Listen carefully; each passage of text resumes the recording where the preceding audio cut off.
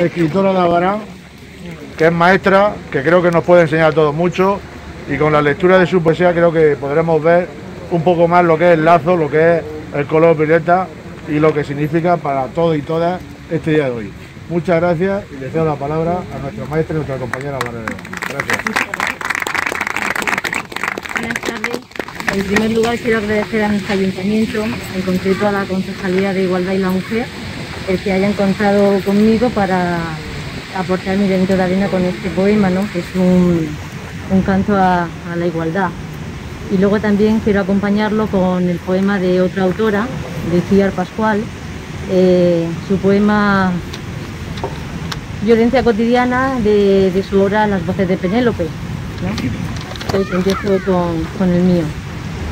Femenino plural. Y cuando pudimos soltar lastre, sentimos el aire inflando los pulmones, un oxígeno que calcina y purifica al mismo tiempo. Nuestras heladuras siguen marcándose pese al paso de la historia, para que no olvidemos de dónde venimos y hacia dónde vamos con el paso decidido y la mente fresca. Porque ser mujer es símbolo de libertad, de vida, de emociones bien nutridas, de sentimientos sin medida. Somos de colores, todos ellos y sus matices.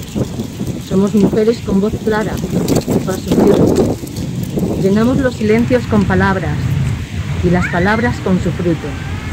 Nos abrazamos al puedo y quiero, y aunque nos cueste el doble, lo ejecutamos, bajo un coro de risas falsas y miradas aviesas. No venimos a competir, aunque nos obliguen a ser funambulistas en este cierto. No buscamos la A como simple definición, una letra, más o menos, no nos hace ser lo que somos. Lo que somos es una realidad no solo por o para mujeres. Hoy me he visto de morado, lila, malva, hoy siempre, mujer.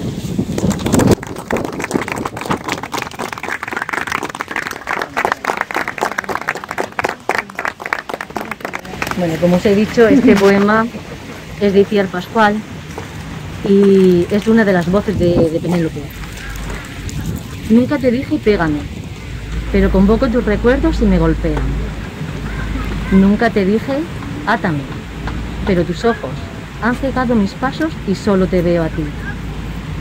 Nunca te dije insúltame, pero me ofende tu distancia y te maldigo amándote. Nunca te dije escúpeme, pero tu boca me asalta en la noche y abrazo tu aliento entre mis sábanas. Nunca te dije miénteme, pero adorno tu retrato con falsedades y mitifico los detalles de tu ser. Nunca te dije ahógame, pero tu silencio anuda mi cuello y la ansiedad recorre mi garganta.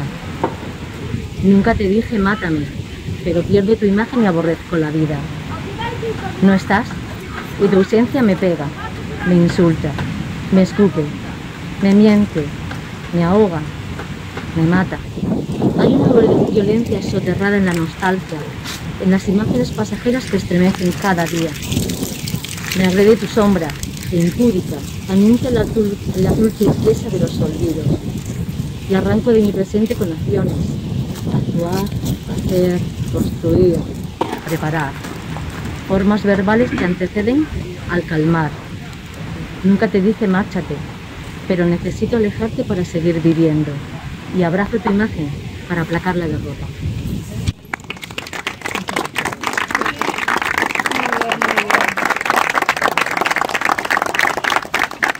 Si alguien quiere hacer alguna pregunta, tiempo está. Ah, es que aquí hay que estar para ti. No, hacerle alguna pregunta, por lo menos.